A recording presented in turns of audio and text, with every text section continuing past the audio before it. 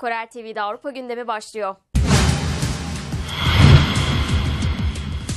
Di Matteo'nun maaşını hala Chelsea ödüyor. Daily Mail'in haberine göre İtalyan teknik adam 3 yıllık sözleşme imzaladıktan 6 ay sonra görevine son verilmesine rağmen tazminat konusunda yönetimle anlaşamadığı için maaş almaya devam ediyor.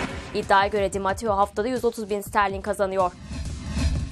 Üst üste yaşadığı sakatlıklarla bu kez farklı bir şekilde futbol gündemini sarsan Lionel Messi sosyal medyadan sesini duyurdu. Arjantinli yıldız taraftarlara teşekkür ederken iyileşip takıma yardım etmek için çalışacağını söyledi.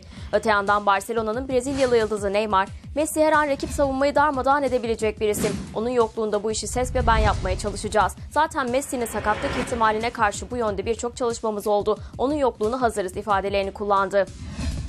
Mourinho'nun yardımcısı rakibi oldu. Mourinho'nun 3 yıllık Real Madrid serüveni süresince yardımcılığını üstlenen eski İspanyol futbolcu Aitor Karanka, Championship ekiplerinden Middlesbrough'un başına geçti. 40 yaşındaki teknik adam ilk kez bir kulübün başında görev yapacak.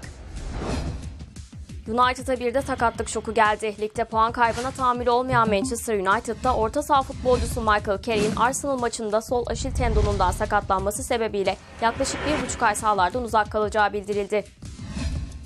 Bayern Münih'e ikinci Ribery geldi. Frank Ribery'nin ardından kardeşi Steven Ribery de Bundesliga ekiplerinden Bayern Münih'e transfer oldu. 19 yaş altı takımına katılan Fransız oyuncunun bir sakatlığı bulundu. Ancak abisinin talimatıyla en kısa zamanda iyileştirileceği öğrenildi.